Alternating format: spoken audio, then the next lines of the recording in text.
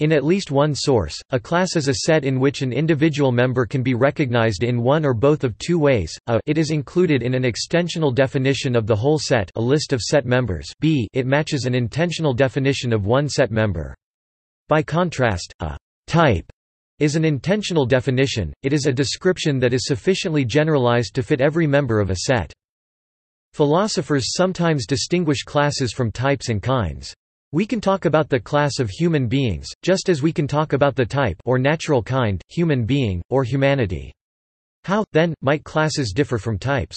One might well think they are not actually different categories of being, but typically, while both are treated as abstract objects, classes are not usually treated as universals, whereas types usually are. Whether natural kinds ought to be considered universals is vexed, see natural kind. There is, in any case, a difference in how we talk about types or kinds. We say that Socrates is a token of a type, or an instance of the natural kind, human being. But notice that we say instead that Socrates is a member of the class of human beings.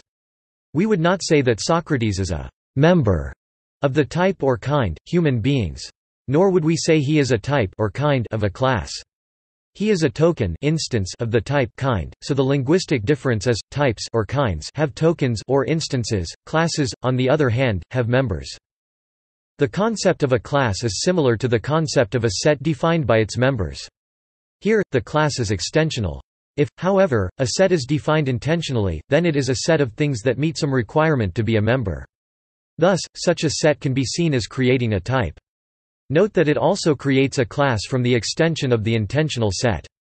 A type always has a corresponding class though that class might have no members, but a class does not necessarily have a corresponding type. References. External links. Class as analytical term in philosophy, philosophypages.com. Class as an analytical feature of any category or categorical term, in the language of deductive reasoning. Class as an aspect of logic, and particularly Bertrand Russell's Principia Mathematica.